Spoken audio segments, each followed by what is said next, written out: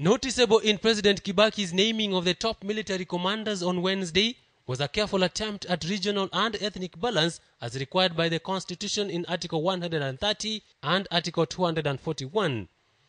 The new chief of Kenya's Defense Forces, General Julius Karangi, hails from Nyeri in central Kenya, while his deputy, Lieutenant General Samson Mwathethe, is from the coast. The army commander, Lieutenant General John Kasaon, has roots in the Rift Valley. His comrade in charge of the Air Force, Major General Geoff Otieno, has roots in Nyanza, while Navy Commander Major General Ngewa Mukala comes from Eastern.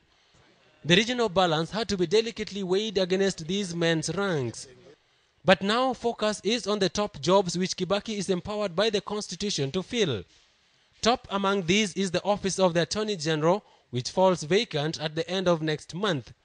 Pundits argue that the president might stick to his earlier choice of Dr. Githu Muigai for Attorney General.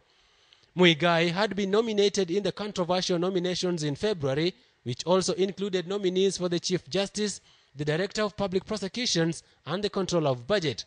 The nominations were later withdrawn.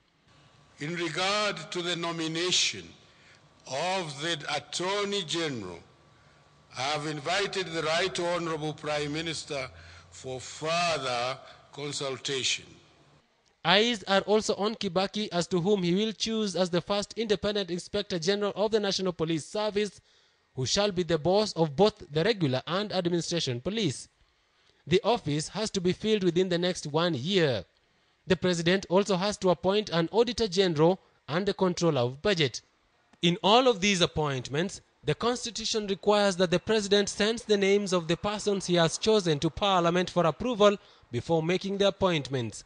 Kibaki's administration has received criticism in the past for appointments to crucial security positions considered to be favoring certain ethnic communities.